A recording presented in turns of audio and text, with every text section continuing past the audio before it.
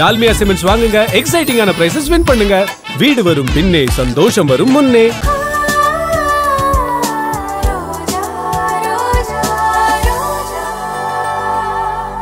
Mister Balu உங்க பொண்டாட்டிக்கு தலை வலிக்குதான் வந்து அவங்களுக்கு தைலம் தேய்ச்சி விடுங்க வாங்க.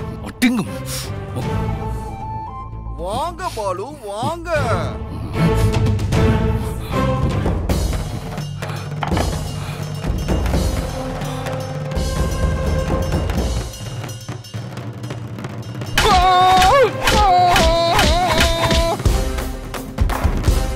பொண்டாட்டிய அடக்கி ஆள்றவன் தான் ஆம்பளை. திமுக பிடிச்ச பொண்டாட்டி கிட்ட அடி வாங்கிட்டு வந்து அலற ஆம்பளைய பிடிக்கவே பிடிக்காது பேட் அந்த பொண்டாட்டிய அடிக்கணும்.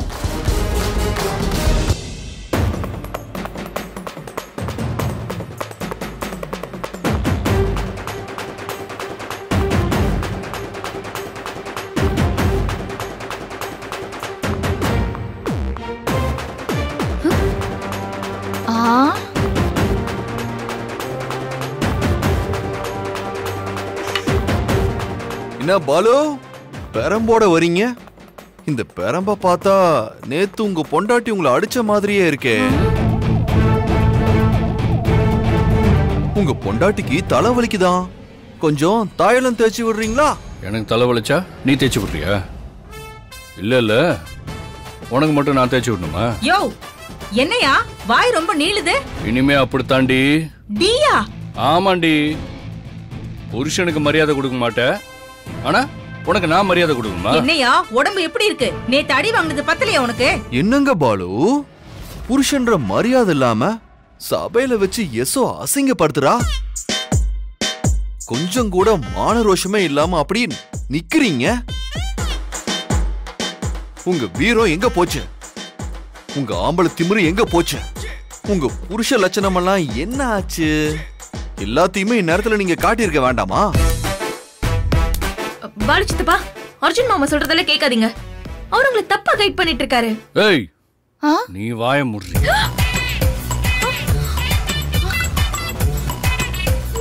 சூப்பர். வாய ஆகுங்க. நேத்துக்கு என்ன புரட்டி எடுக்கும்போது.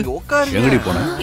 இவ கெட்டு போறதுக்கு காரணமே நீதாண்டி முதல்ல உன் மண்டையை தான் உடைக்கிறேன். என்னையா? உனக்கு கிறுக்கு எதுவும் புடிச்சு போச்சா?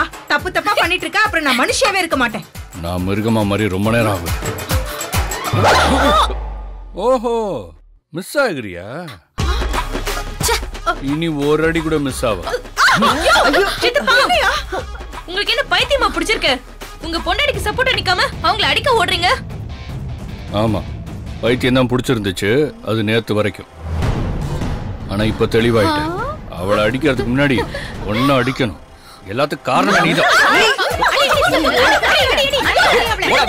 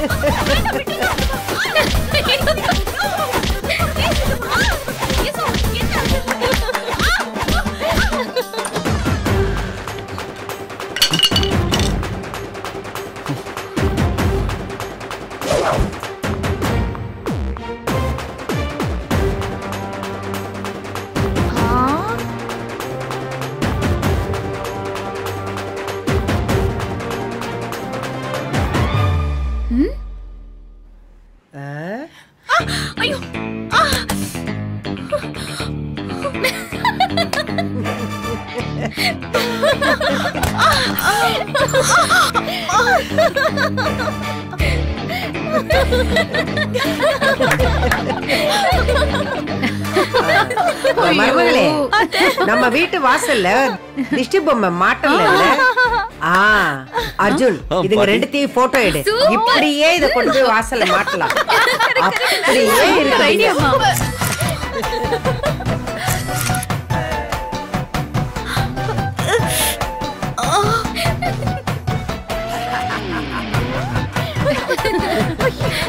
இருக்கு கான்ஸ்டபிள்ஸ் இங்க வாங்க. சார் சொல்லுங்க சார். இங்க பாருங்க. எங்க குடும்பத்துல இருந்து யாரும் யசோவை கொடுமைப்படுத்தல. அம்மா! யசோவை கொடுமைப்படுத்தினது யசோவோட புருஷன் தானே கோர்ட்ல ரிப்போர்ட் கொடுத்துருங்க. முதல்ல உங்க லாயருக்கு ரொம்ப அடிபட்டிருக்கு. போய் என்னன்னு பாருங்க போங்க. என்ன அடி? அர்ஜுன் அர்ஜுன். பாலு பாலுவுக்கு எப்படி இவ்ளோ வீரம் வந்துச்சு? எப்படி? எல்லாம் காதல் செய்யற மாயம்தான் காதலா? பாலுக்கா? யாருப்பா அது? வேற யாரு? நம்ம நவீன் தான். நவீனுக்கு லேடி கெட்ட போட்டு காதல் வசனங்களை பேச வச்சேன். பாலும் நீட்டா ஆஃப் ஆயிட்டான்.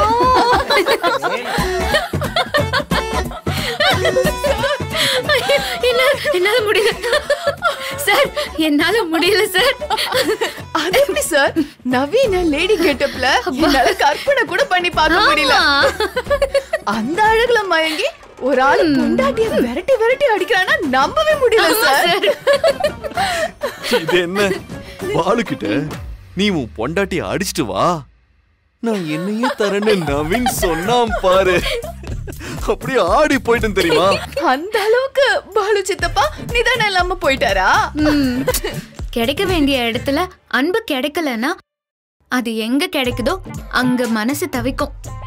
உருவம்லாம் கண்ணுக்கு தெரியாது.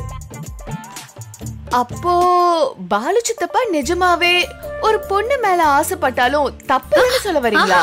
தப்பு இல்லைன்னா நான் சொல்லல. யசோதாக்காகவும் சேர்த்து நான் பரிதாபப்படுறேன். இங்க என்ன இல்ல? புருஷன் பொண்டாட்டி ரெண்டு பேரும் எவ்வளவு சந்தோஷமா இருக்கலாம்.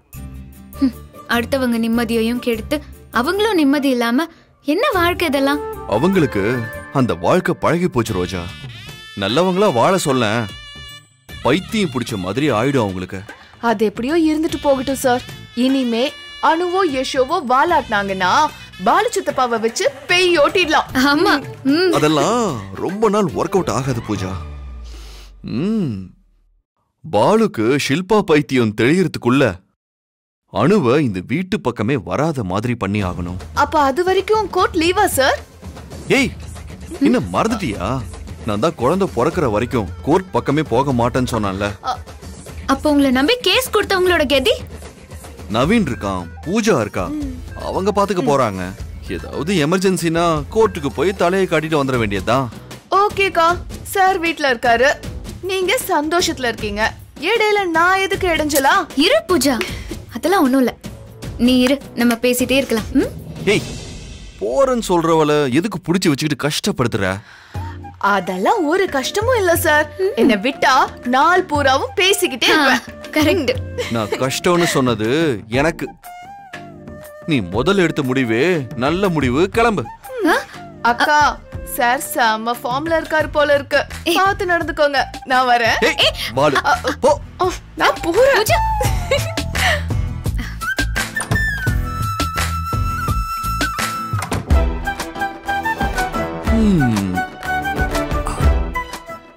ரொம்ப நல்ல பொண்ணு. நம்மள டிஸ்டர்ப் பண்ணக்கூடாதுன்னு ஓடிட்டா. அவ ஓடல. நீங்க தான் ஓட So, வச்சிட்டீங்க. அவ இருக்கிறது உனக்கு டிஸ்டர்பா தோணலையா? அவ இருக்கிறதுனால ஒரு டிஸ்டர்பன்ஸும் இல்லையே. புருஷன் பொண்டாட்டிக்குள்ள ஆயிரம் கொடுக்கல் வாங்கல் எல்லாம் இருக்கும். அவளை வச்சுக்கிட்டு எப்படி ரோஜா? கிருஷ்ணர் பூஜை முடியற வரைக்கும் கொடுக்கல் வாங்கலுக்கு எல்லாம் லீவு விட்டுருக்கோம்ல. ஞாபகம் இல்லையா உங்களுக்கு? அதனால என்ன?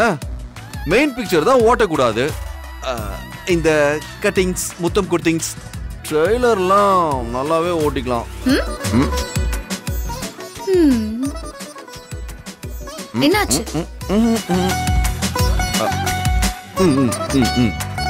என்ன? என்ன போன் இந்த நவீன் இருக்கான் பாத்தியா? கோர்ட்லயும் சரி லைஃப்லயும் சரி. என்ன டிஸ்டர்ப் பண்றதையே ஒரு பொழப்பா வச்சிருக்கான். என்ன சார்? மாறு வேஷம்லாம் போட்டு நமக்கு எவ்வளவு ஹெல்ப் பண்ணிருக்காரு. அவரை போய் நீங்க டிஸ்டர்பன்ஸ்னு சொல்றீங்க. வீடியோவை ஆன் பண்ணி கொடுங்க. நான் அவருக்கு தேங்க்ஸ் சொல்லணும். என்ன சார் வீடியோ காலில் வராரு? சார்? நவீன்? மேடம் நீங்களா? ஷில்பாவை பார்க்கலான்னு வந்தேன். நீங்க யாரு? ஷில்பாவோட அண்ணனா? மேடம் நான் எப்பவுமே நவீன் தான். ஷில்பாங்கிறது உங்க அர்ஜுன் சார் உருவாக்குனது. பெர்ஃபார்மன்ஸ் பின்னிட்டீங்களாமே? உங்க அழகுல மயங்கின பாலு சித்தப்பாவுக்கு இன்னும் மயக்கமே தெளியல. அதை ஏன் மேடம் கேக்குறீங்க? லேடி கெட்ட போட்ட உடனே என் மூஞ்சிய என்னாலயே கண்ணாடியில பார்க்க முடியல. ஆனா உங்க பாலு சித்தப்பா ஒரு அறுப்பாருக்கு சொல்லு. எம்மா ஒரு மரத்துக்கு சேலை கட்டினா கூட விட மாட்டார் போல இருக்கு. அப்படி விடுறாரு. எது எப்படியோ நீங்க கெட்டப் போட்டது வீண் போகல. இங்க வந்ததும் அனுவையும் யசோதாவையும் பாலு சித்தப்பா பேய் ஆட்டம் ஆடிட்டாரு. இனிமே அவங்க இருக்கிற இடம் தெரியாம ரெண்டு பேரும் இருக்க போறாங்க. இந்த அமைதிக்கு முக்கியமா நீங்க தான் காரணம். உங்களுக்கு தேங்க்ஸ் சொல்றதுக்காக தான் நான் கால் அட்டன் பண்ண சொன்னேன். அந்த டிராமா சக்சஸ்க்கு காரணம் அர்ஜுன் சார் தான். மாத்தி மாத்தி நம்மள நாமளே புகழ்ந்துக்க வேண்டாம். இப்ப எதுக்கு நீ ஃபோன் பண்ண அதை சொல்லு. அது ஒரு முக்கியமான விஷயம் சார் ஒரு புவர் ஃபேமிலி ஹவுஸ் ஓனர் வீட்டை காலி பண்ண சொல்லி ரொம்ப தொந்தரவு பண்றாராம் ஒரு கை குழந்தை வேற இருக்கு. இப்போ நம்மளை விட்டா அவங்களுக்கு வேற யாரும் இல்ல. நடுத்தெருல நிப்பாங்க. நீங்க கொஞ்சம் ஹெல்ப் பண்ணி ஸ்டே ஆர்டர் வாங்கினா நல்லா இருக்கும் சார் ரொம்ப எமர்ஜென்சி சார் புரியுது நவீன். இங்க வீட்ல அணு வந்து உக்காந்துக்கிட்டு ரோஜாவை ஆட்டி படைக்கிறா? ரோஜாவை தனியா விட்டுட்டு எப்படி வருதுன்னு யோசிக்கிறேன் ஆம், சார். நீங்க எத்தனையோ கேஸ கோர்ட்ல போய் வாதாடி இருக்கீங்க. யசோதாவும் அனுவும் என்ன எதுவுமே பண்ண மாட்டாங்க சார். குழந்தை குட்டிங்களோட ஒரு குடும்பம் நடு ரோட்ல நிக்குது சார். அது பெரிய பாவம் இல்லையா சார்? ஆ? நீங்க அவங்கள வாழ வச்சீங்கன்னா அவங்களோட வாழ்த்து நம்ம பிள்ளையையும் வாழ வைக்கும் சார். யோசிக்காதீங்க சார். ஓகே நவீன். நீ ஸ்டே ஆர்டருக்கு வேண்டிய பெட்டிஷனை கோர்ட்ல போட்டு வை. நான் காலையில வந்துடுறேன் ஓகே தேங்க்யூ சார் சரியான தொல்லை?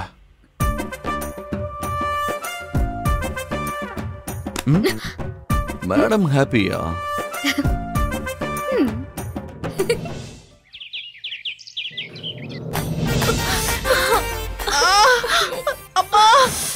வலி தாங்க முடியல அனு.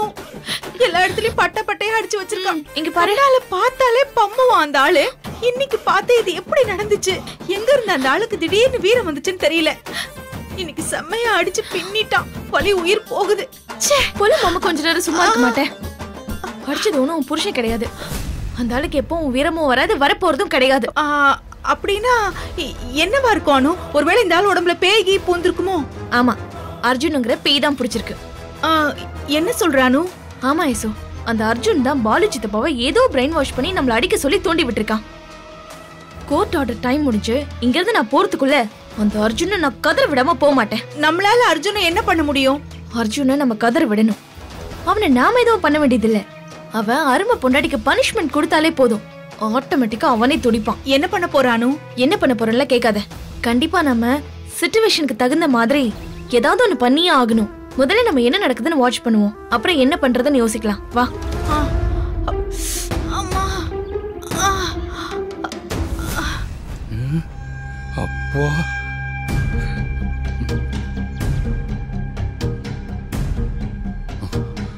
ஆஹா ரெண்டு பேரும் கொலவெறியில இருக்காளுங்க. அர்ஜுனை பழி வாங்கணும் கிளம்பிட்டாளுங்களே. நாம இந்த நேரத்துல கையில சிக்கணும். கைமா தான் அப்படியே. கையில சிக்காம கூட்டத்துல இருந்தே அப்படியே எஸ்கேப் ஆயிடுவோம். அப்போதான் நம்மளால பொழுது ஓட்ட முடியும். ஆமா இதுங்க என்ன பண்ண போறாளுங்கன்னு தெரிஞ்சுக்கணுமே. அப்பதானே நம்ம எஸ்கேப் ஆக கரெக்டா இருக்கும். அர்ஜுன் மேல உள்ள கோவத்தை நம்ம கிட்ட தான் காட்டுவாங்க. முதல்ல இதுங்களை ஃபாலோ பண்ணுவோம்.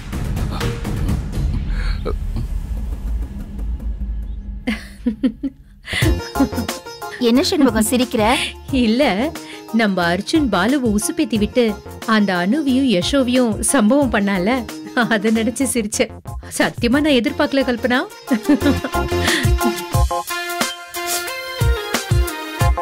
இருந்தாலும் இவ்ளோ பண்ணியும் அவங்க அடங்குவாங்கன்னு நினைக்கிறேன்?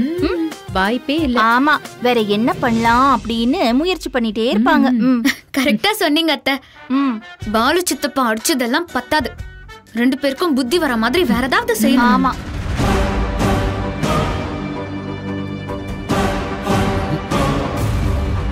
சரி நீங்க காய்கறியை கட் பண்ணுங்க நான் அரிசி ஊற அப்படியே நில்லு. ஏன் அத்தை? எதுக்கு நிறுத்துறீங்க? பின்ன என் புள்ள வேற வீட்ல இருக்கான். நீ வேலை செய்யறன்னு அவனுக்கு தெரிஞ்சிச்சு. அவ்வளவுதான். எங்களை உண்டில்லனாக்கிடுவான் நீ பேசாம உட்காரு. நாங்க எல்லாத்தையும் பாத்துக்கிறோம். அம்மாடி ரோஜா. இது பாருமா. நீ வந்து அர்ஜுன் வீட்ல இல்லாத டைம்ல ஓடி ஆடி என்ன வேணாலும் வேலை செய். நாங்க எதுவும் சொல்ல மாட்டோம். ஆனா உன் புருஷன் வீட்ல இருக்கும்போது கொஞ்சம் அடங்கி ஒடுங்கிருமா? இல்ல எங்களுக்கு தான் திட்டு விழும். எந்த வேலையும் செய்யாம சும்மா சாப்பிட்டு சாப்பிட்டு தூங்குனா நைட்டு தூக்கம் வர மாட்டேங்குது. ஒரே அவஸ்தையா இருக்கு. அட போமா இத பாரு.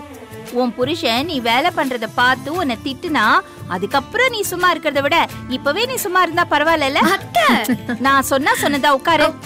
அந்த உட்காரு சேர் இழுத்து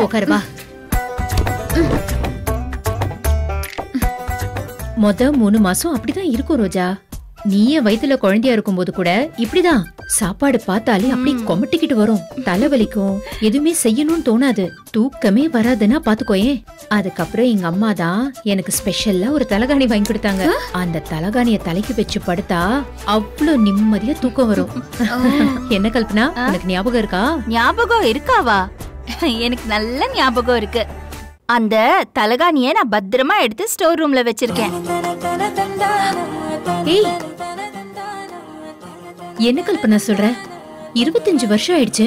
இன்னும் அந்த தலகாணிய பாதுகாத்து வச்சிருக்க? ஆமா செண்பகம்.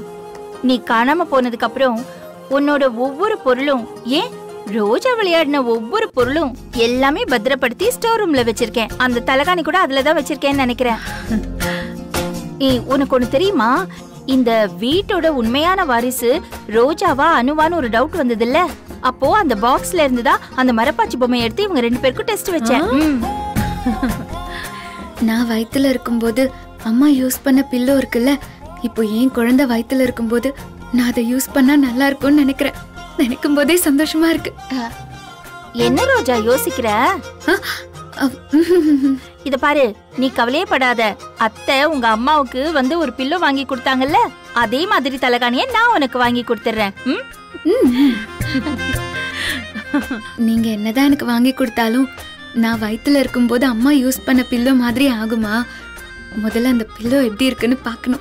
இப்போ ஸ்டோர் ரூமுக்கு போகணும்னு சொன்னா விட மாட்டாங்க. நைஸா நழுவிட வேண்டியதுதான். அனு என்ன யோசிக்கிறா அவ? தெரியல.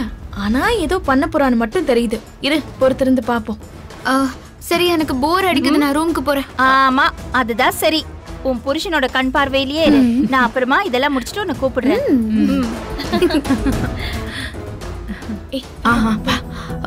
சீக்கிரம் வா. ஓடு ஓடு சீக்கிரம்.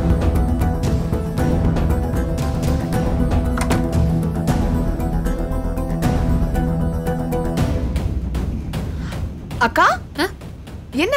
மொட்டை மாடிக்கு போறீங்க? சத்தம் போடாத. நான் ஸ்டோர் ரூமுக்கு போறேன். இப்ப எதுக்காக ஸ்டோர் ரூம் போறீங்க? அது நான் வயித்துல இருக்கும்போது என் அம்மா யூஸ் பண்ண பில்லோ ஸ்டோர் ரூம்ல இருக்கான் என்னக்கா சொல்றீங்க? இத்தனை வருஷமாவா அதை வச்சிருக்காங்க? ஆமா பூஜா பாட்டி எல்லாத்தையும் பத்திரப்படுத்தி வச்சிருக்காங்களாம். அந்த பில்லோவை என் குழந்தை வயித்துல இருக்கும்போது நான் யூஸ் பண்ணணும்னு ஆசைப்படுறேன். அது என் குழந்தைக்கு நிம்மதியையும் ஆரோக்கியத்தையும் தரும்னு நான் நம்புறேன். சரி வாங்க. நானும் கூட வரேன். வேண்டாம் வேண்டாம் அத்தையும் அம்மாவும் சமைச்சிட்டு இருக்காங்க நீ அவங்களுக்கு போய் ஹெல்ப் பண்ணு. நான் ஸ்டோர் ரூம் போறேன்? சரிக்கா பாத்துக்கோங்க.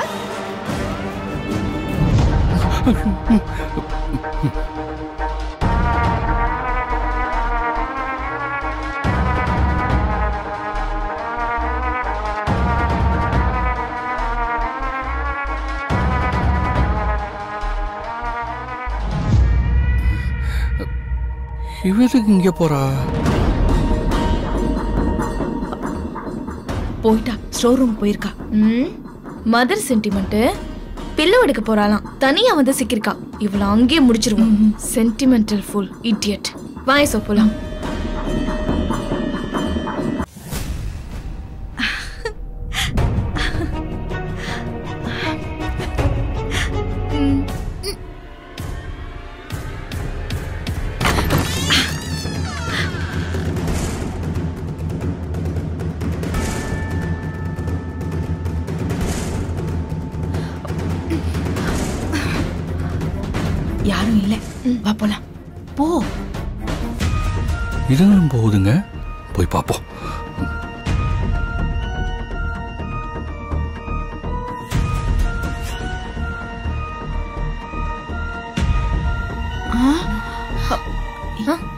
போனா?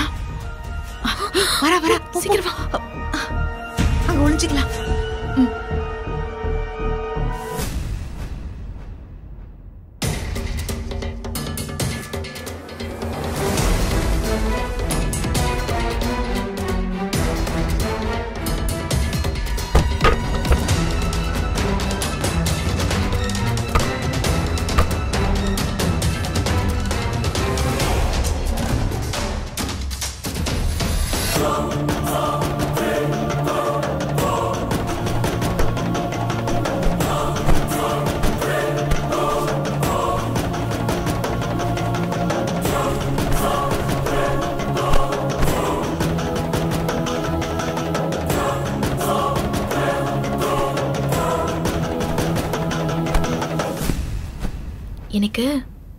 யோசனை யசோ அவளை அப்படியே அந்த பொட்டிக்குள்ள வச்சு ஜீவ சமாதி ஆக்கிடலாம்னு தோணுது.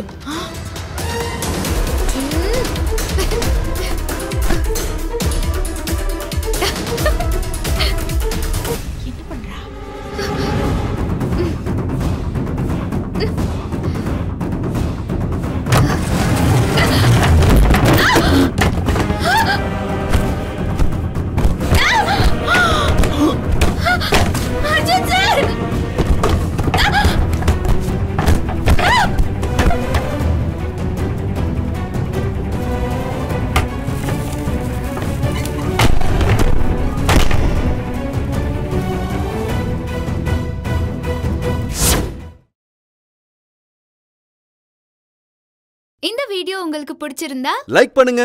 கமெண்ட் பண்ணுங்க. ஷேர் பண்ணுங்க. மறக்காம சரிகமா டிவி ஷோஸ் தமிழுக்கு சப்ஸ்கிரைப் பண்ணுங்க. பண்ணுங்க.